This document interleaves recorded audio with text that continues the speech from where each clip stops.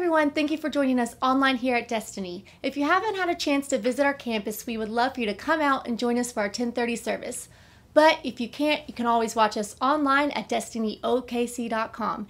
And while you're there, you can watch any of our past messages, see any of our upcoming events, or read pastors' blogs. Also, don't forget to follow us on all of our social media platforms right here. And now, here's this week's message. Hetty Green is a name you may not know. She's known as, the, uh, as America's greatest miser. How many of you do not want that to be your legacy? the, America's greatest miser. Uh, I've done quite a bit of research on her when I found this all out. Uh, she actually died in 1916, and she left over $100 million behind in 1916. And yet she was known as America's greatest miser. How can you be that rich in that particular time when so many people are so destitute and desperate and be known as America's greatest miser? So her story is elaborate. I won't go into too much of it, other than just to say she was so tight with her money just keeping it as, as well as she possibly could. She ate her oatmeal cold in the morning because she didn't want to spend the money that it cost to heat up her oatmeal. Her son was injured, and though she had plenty of money for the best health care money could have bought, she delayed his procedure so long in search for free health care, for a free clinic, that his leg had to be amputated.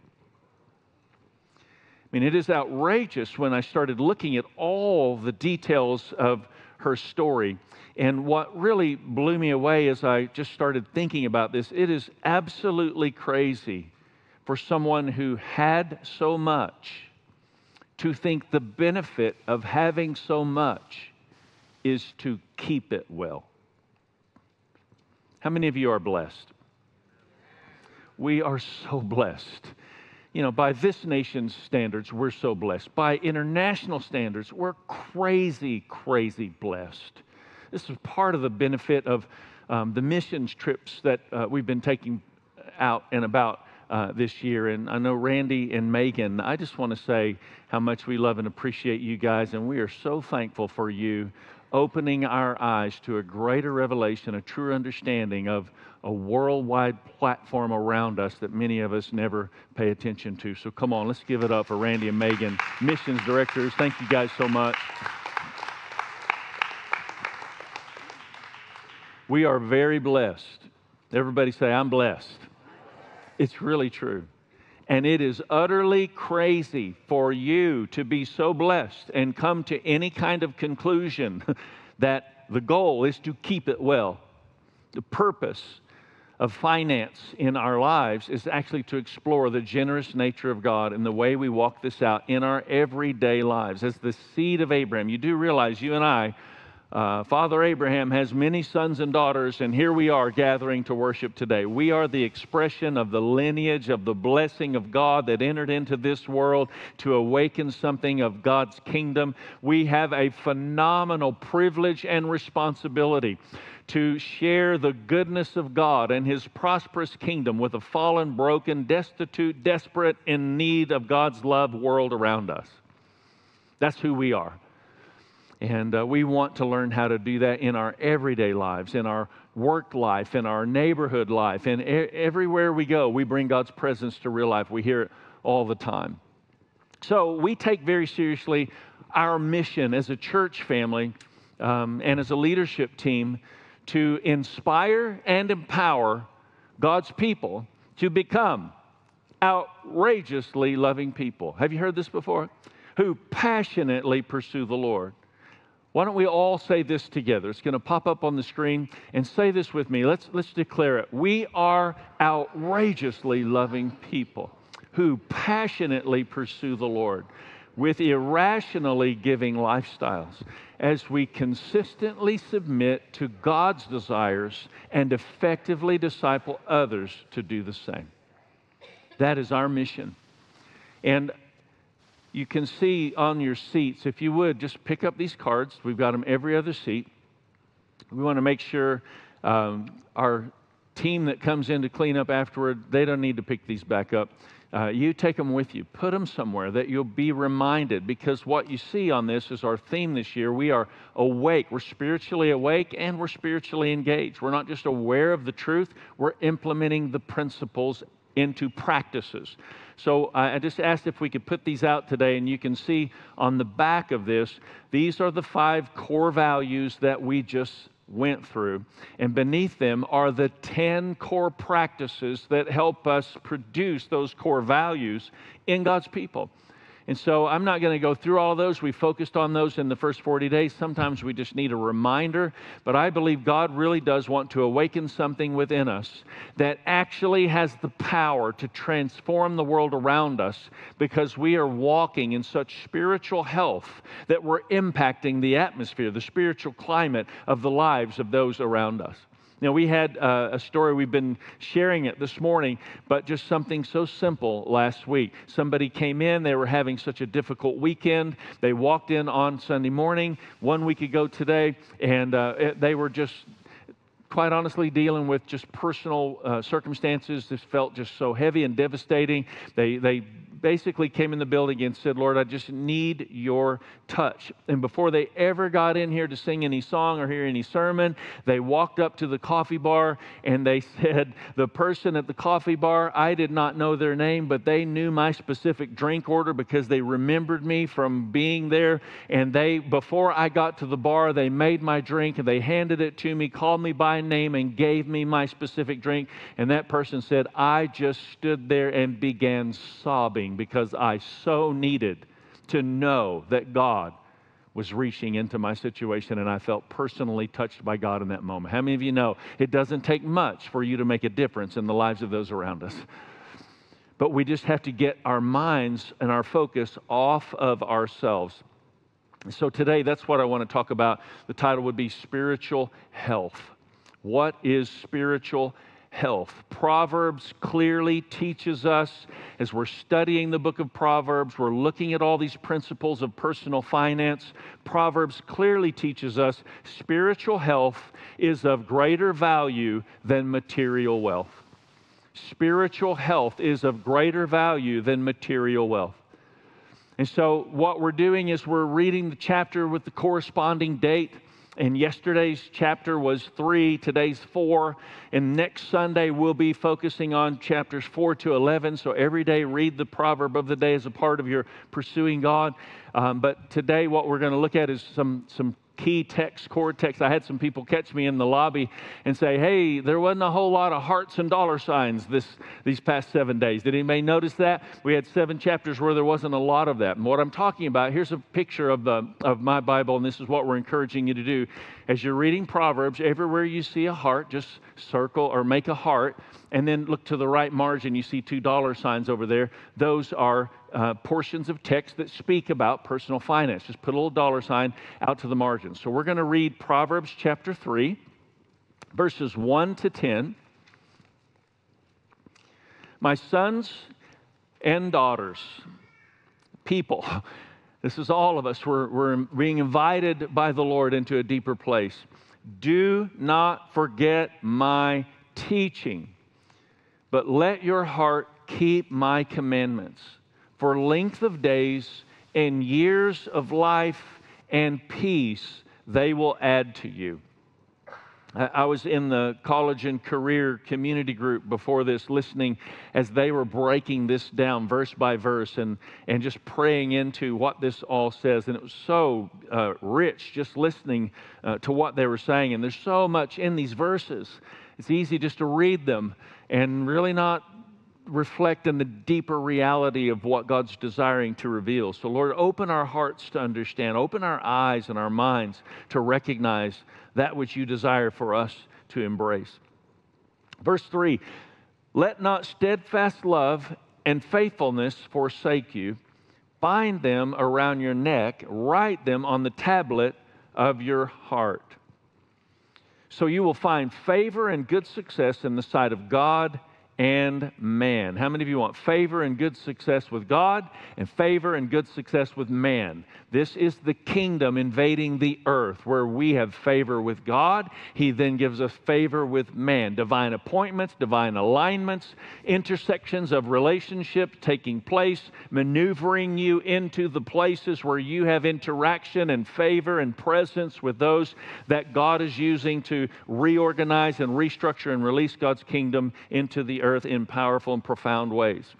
So you'll find favor in the sight of God and man. Verse 5, famous verse trust in the Lord with all your, there's the word again, heart, and do not lean to your own understanding. In all your ways, acknowledge him, and he will make your paths straight. Be not wise in your own eyes, fear the Lord, and turn away from evil. It will be healing to your flesh and refreshment to your bones. Honor the Lord with your wealth and the firstfruits of all your produce. Then your barns will be filled with plenty, and your vats be bursting with wine.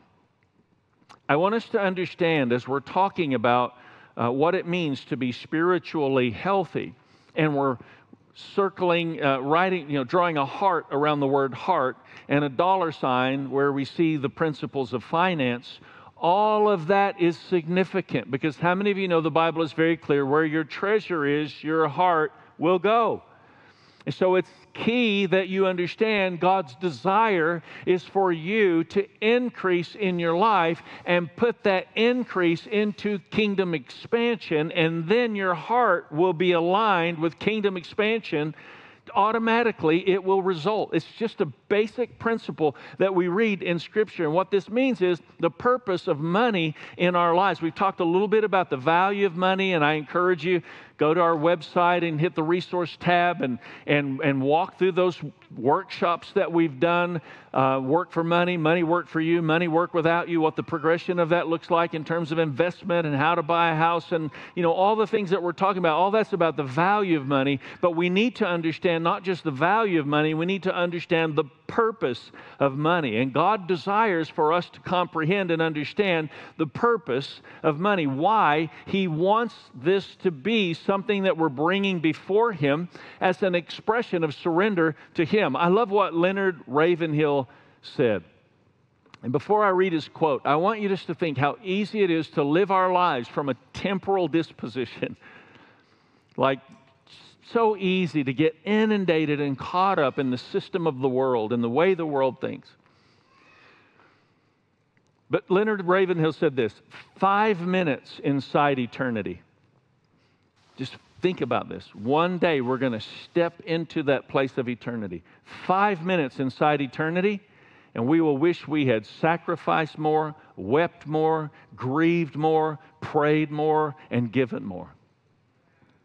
How many of you believe that's true? And the Lord can help us learn to live in light of eternity now.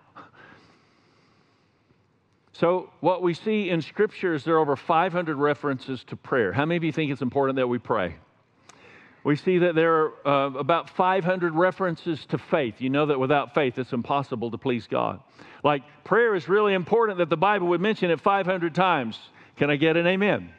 Faith is really important that the Bible would mention it 500 times. Amen. Finances must be really important because the Bible references it over 2,000 times. And the reason is because there are these issues of materialism and greed that we know that the world has inundated us with and have to be broken off of our lives. And so God wants to deal with the area, the issue of our heart. I believe it's important that we understand the way we handle our money is probably the truest indicator of our spiritual condition in our lives. I mean, you know it's true.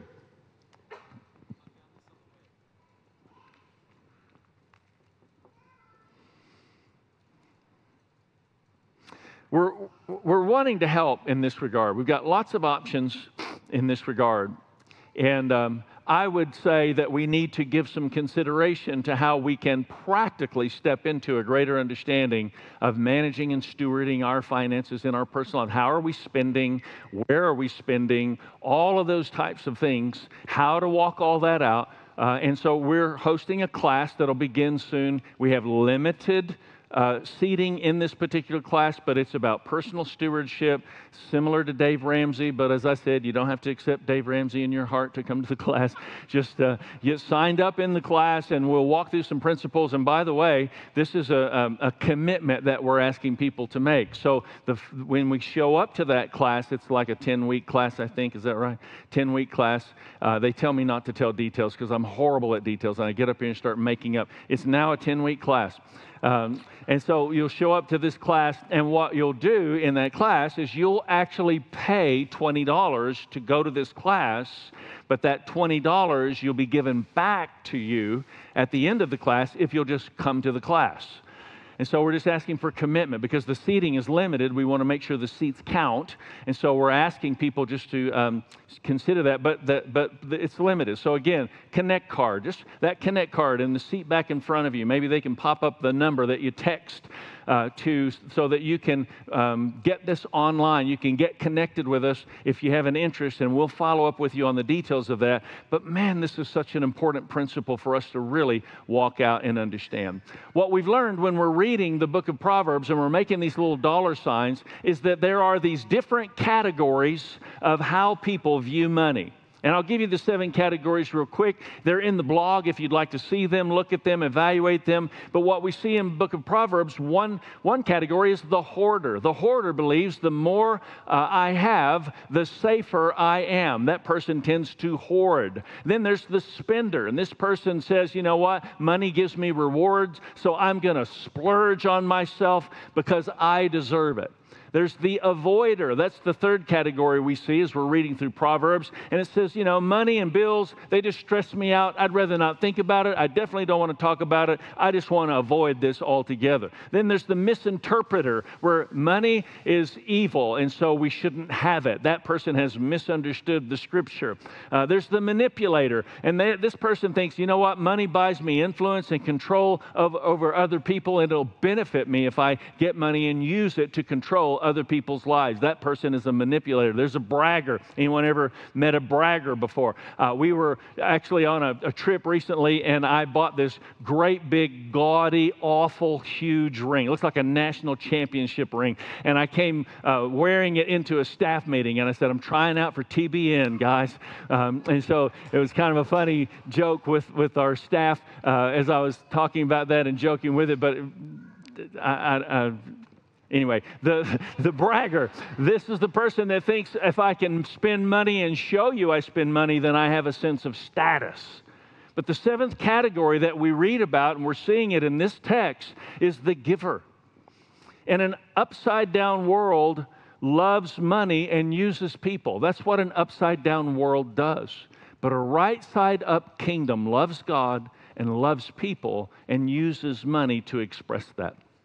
It's important that we understand that and we recognize that. Um, in the same way that we need to wash our clothes, because walking through this world, uh, we, our, our, clothes get dirty and need to be cleaned, so is it the case with our thinking. It needs to be cleansed. So, walking through this world, uh, materialism easily starts to invade our thinking. Would you agree with me? Walking through this world, it's easy for greed to start to invade our thinking. So we have to cleanse our thinking in the way we're renewing our mind, guarding and protecting our heart, asking the Lord to help us become the people that He's called us to become. This is so important. I, I talked to Tracy about this last week, and just to be honest with you, we in general as a church talk so little about giving that I hear people uh, that come in and they're new to us say to me, you know, you never say anything about giving. How, how do we know how to give? We don't pass buckets. What do we do? And so I, I have to think about that and be intentional about it. And in reverse, when we started down this journey in Proverbs, I guess I wasn't really thinking about just how overt this topic continually is throughout the book of Proverbs. And so I told Tracy last week, I was like, man, I just feel like I'm talking about giving so much.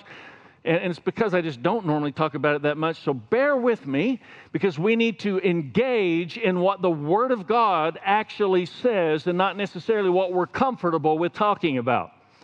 That'd be a great place for everybody to amen, break into thunderous applause. You just want to jump up on your feet, you feel free to do that. But what, what I want us to do is I want us as Christians to explore the whole counsel of Scripture. And so, what, what I'm seeing as I'm looking at this, again, that text of scripture that we read, it says, Honor the Lord with, the, with your wealth and with the firstfruits of all your produce.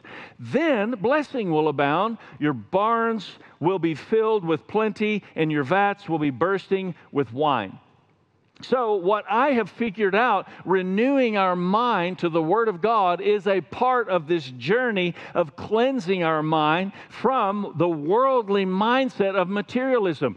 But how many of you know God actually put a pattern into place that is an expression of worship, that it is ongoing and continually coming back over and over again to break materialism and break greed off of your life? And that is called called the tithe.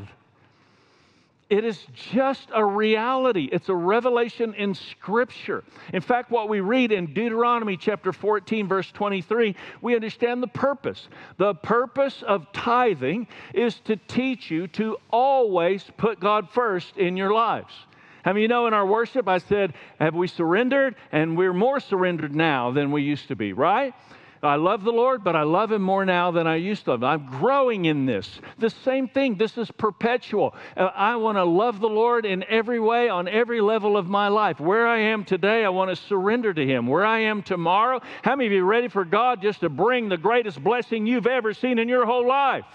I mean, we get excited about that blessing, but you have to be faithful with the little things before He entrusts you to the much. So the question isn't, will you do something awesome for the Lord then? The question is, are you being faithful in the moment that you're in? Because every time we increase, we then are supposed to take a portion of that increase and bring it into the storehouse where we are spiritually fed, where our families are spiritually covered, where we experience spiritual nourishment. Are you nourished by God? Is that all belong to Him anyway. I mean, it's all His. You didn't have anything when you came into this world. You will have nothing when you go out. He owns it, He loaned it. You have about a century. What are you going to do with what God's entrusted to your care? I don't want to be known as the world's greatest miser. How about you? So I encourage you, uh, we want this to be an act of worship for our church family. And that's why we have giving stations at the back. There's communion there. And we just invite you during worship. We'll receive communion family wide as well, but that's available every single week just during worship to go back and celebrate the sacrifice of the Lord. Maybe then to step to a giving station and celebrate my sacrifice as a result of following the sacrifice He modeled. If you prefer to give online, you can. Here's our information about how to do that. You can text give to that number or scan the code. Uh, but I just encourage you, let this be an act of worship where you recognize God is doing a great work in your heart and in your life. How'd I do? Is that okay? Yeah. Everybody with me? Thank you. I'm so glad you guys came in from Kids Church to affirm me today. This is great. How many of you know it is more blessed to give than to receive. Think about this for a moment. The pursuit of blessedness. What is the, we understand the pursuit of happiness, but what is the pursuit of blessedness? If it is more blessed to give than it is to receive, then the pursuit of blessedness is actually the pursuit of being generous into the lives of those around us. That's the pursuit of blessedness. Now, the pursuit of happiness is trying to get everybody else to be generous into my life do something for me. How many know there's some people that pull the wagon? And some people that sit on the wagon while the wagon is being pulled. And so understand that God's actually, we didn't just show up in this building and say, hey, we're just going to, you know, all of a sudden be here in church. Like we worked hard. Many of us sacrificed crazy. Some of y'all came after this building was built. We say, welcome. I'm glad we had what we had when we arrived here, that people sacrificed before us. But I want to tell you, there are people coming after us, and they need a church that's given to them that's stronger relationally, financially, theologically, and in every way. That is our responsibility in this hour of the church in the pursuit of blessedness, we say we want to see God's kingdom come in power and anointing, and we're willing to sacrifice to see that take place. This is really important that we understand. The pursuit of blessedness is the pursuit of generosity. The pursuit of happiness is the pursuit of getting somebody to be generous to me. But this is what's so crazy. The pursuit of blessedness will actually do more for you than the pursuit of happiness ever could. Like the pursuit of happiness is, I hope I'm happy. But the pursuit of blessedness, because it's more blessed to give than to receive, the pursuit of blessedness actually will do more for you. It's just the design of God. It's the way He set this all into motion in terms of the kingdom of God. I love this, the message paraphrase of Scripture, Proverbs 11 24. The world of the generous gets larger and larger. But the world of the stingy gets smaller and smaller. What do you think that is?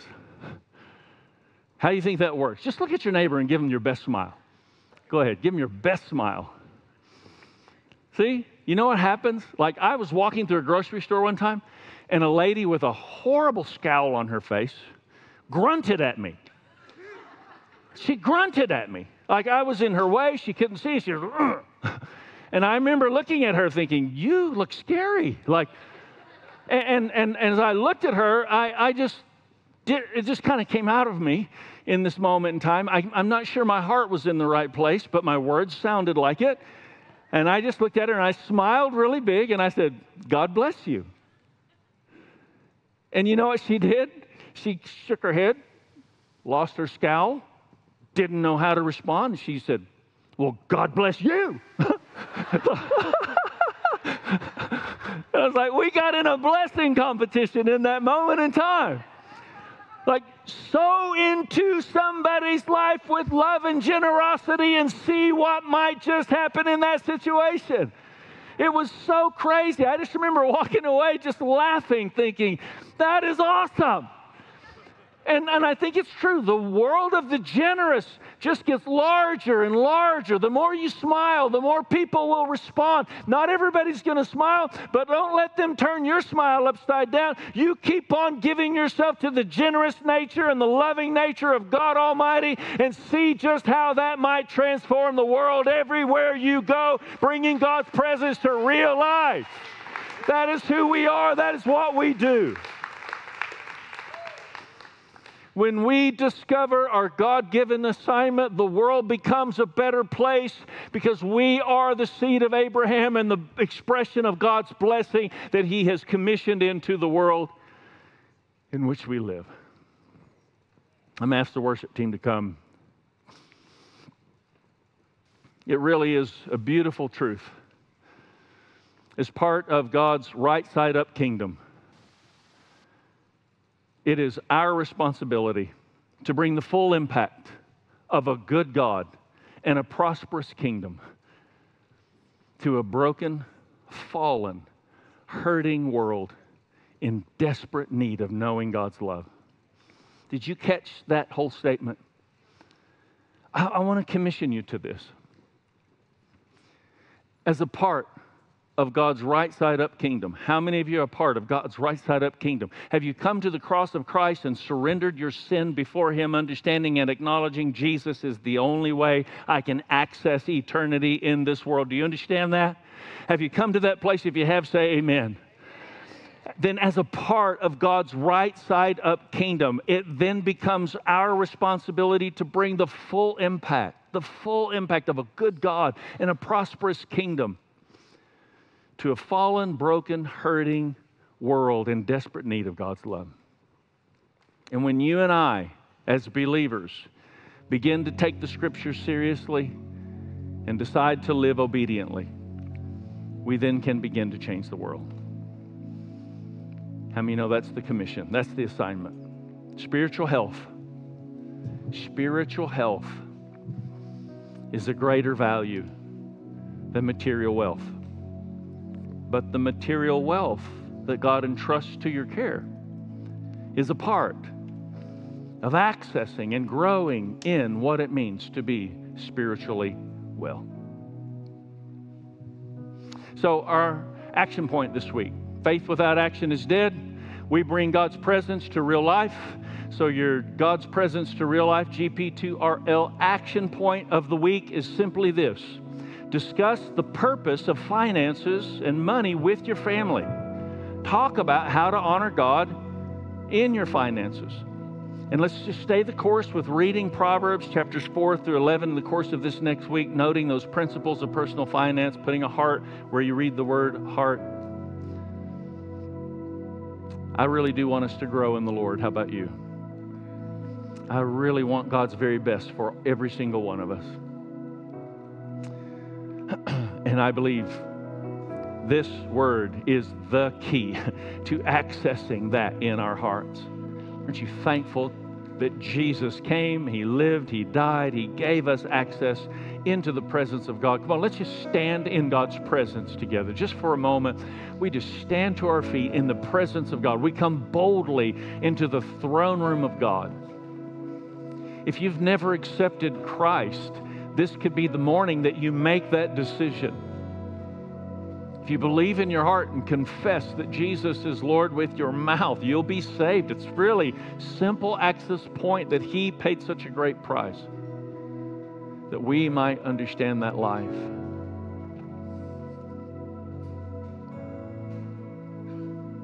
So, Lord, we stand in your presence right now. I thank you that through the blood of Christ, we have access. So we recognize that first and foremost. We recognize Jesus came and died, but didn't remain in a grave because Jesus is the Son of God, the sinless sacrifice that was given for our sins. Because of that, Jesus is raised from the grave. If you believe that, say out loud, Amen. Jesus, you are Lord. I pray that you take us into a deeper place knowing what it means to stand in your presence, even in the presence of mankind. That the fear of the Lord would outweigh the fear of man. And we would honor you, Lord, in every way. In Jesus' mighty name. Come on, if you acknowledge the Lord needs to address some areas in your personal stewardship, why don't you just lift both your hands and let's just surrender that to Him? It's all about a process, but Lord, we just say, we understand that material wealth has been entrusted to our care for us to learn how to more effectively access spiritual health. I pray that you would help us to grow in greater maturity of what that really looks like. People around us, everywhere we go, would know us as the most generous people they've ever met our love and our generosity will mark our lives in the way we live. And in doing so, we're able to share more effectively the love of Christ in Jesus' mighty name. In Jesus' mighty name. I'm going to ask our prayer teams to come. Come on, let's just press in for a few moments. Let's bring back something from what the Lord has placed within our hearts. Let's bring that back to Him in a place of worship. If you made a decision today to accept Christ, then I want to ask you to come and let our prayer teams pray with you. If there's anything that you need us to pray with you about today, then I would invite you in these few moments that we have to worship. Would you just come and let us join together? We believe in the power of prayer. So come on, if there's anything we can agree with you about, make your way up as we just take a few moments before we conclude in worship.